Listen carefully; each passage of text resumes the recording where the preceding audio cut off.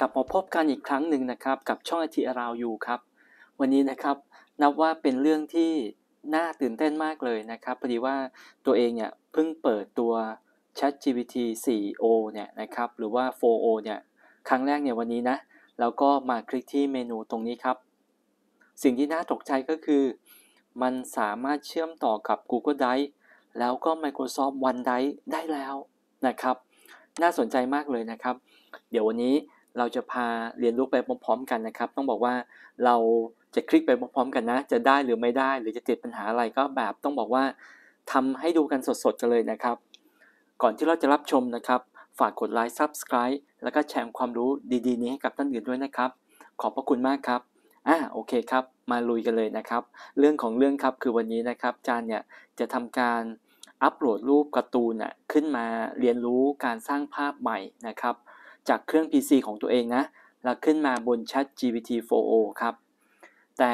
วันนี้ต้องบอกว่าตกใจมากนะครับ เห็นเมนูเพิ่มนะครับ เดี๋ยวเราจะมาลองเล่นกันนะครับนะ ว่ามันจะมีการใช้งานยังไงนะครับ GPT 4o ที่จันใช้นะครับเป็นเป็นแปลนแบบจ่ายตังค์นะครับ ประมาณ 20 เหรียญนนะครับนะ มันจะ สามารถใช้ตรงนี้ได้นะครับ แต่จะไม่มั่นใจว่าในใน plan ฟรีที่ได้หลายท่านใช้งานอยู่มันจะมีหรือเปล่านะครับ อันนี้ไม่ confirm นะครับ แต่เขาที่จารย์ใช้เนี่ยเป็นเขาที่จ่ายรายเดือนครับ 20 เหรียญอ่าโอเคครับ เดี๋ยวเรามาคลิกกันเลยนะครับว่ามันจะทำได้ไหมนะครับ เราเริ่มที่เราจะทำการเชื่อมต่ออ Google Drive กันนะครับนะอะลองคลิกดูครับอ่าเมื่อเราเลือกแล้วนะครับ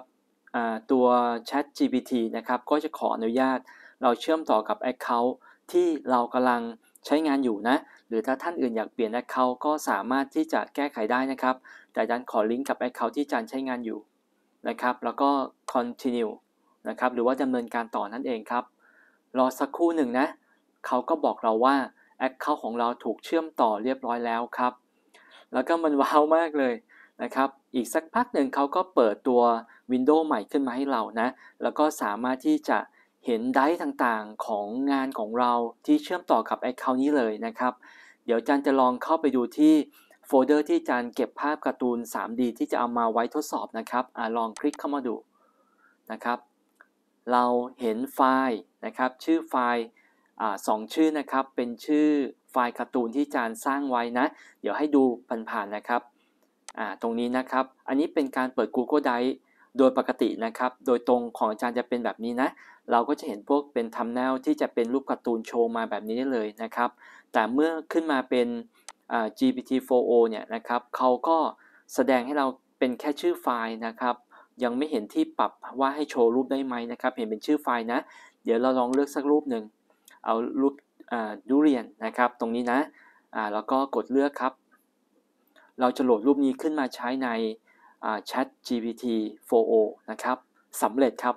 รูปมาแล้วนะ ก็คือรูปนี้นั่นเองนะครับอ่าโอเค จากนั้นครับเราจะลองสั่งงานนะครับว่าาสร้างภาพการ์ตูน 3D แบบนี้อีกครั้ง โดยทำการเปลี่ยน ตัวละคร ให้เป็นเด็กชาย อ้วน น่ารัก อายุประมาณ 5 ขวบ แบบนี้นะครับ อันนี้คือพร้อมที่เราสั่งงานเข้าไปนะครับ แล้วก็ลองกดส่งสิเขาจะสามารถประมวลผลภาพให้เราได้ไหมนะครับ รูปที่อาจารย์เคยสร้างเดิมทีมันจะเป็นรูปคนคนแก่นะครับมีอายุหน่อยแล้วก็กำลังอินจอยกับทุเรียนนะครับกำลังถือทุเรียนน่ารักเลย อาจารย์จะให้เขาสร้างภาพใหม่นะ แต่เปลี่ยน character actor ตัวละครเป็นเด็กอ่านะครับ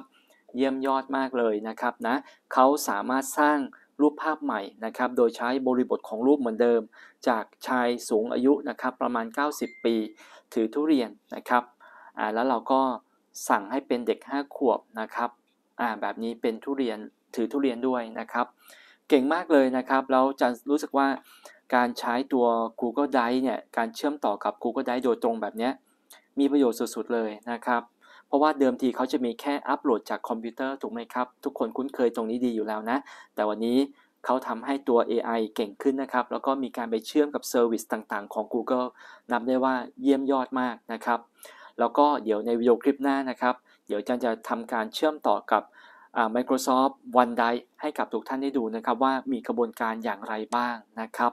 โอเคครับ วันนี้หวังว่าวิดีโอคลิปนี้น่าจะเป็นประโยชน์สำหรับทุกๆท่านนะครับ ได้เห็นความก้าวล้ำของตัว AI ChatGPT 4o เรียบร้อยแล้วนะครับ มีคอมเมนต์อะไร อยากให้อาจารย์ทำอะไรโชว์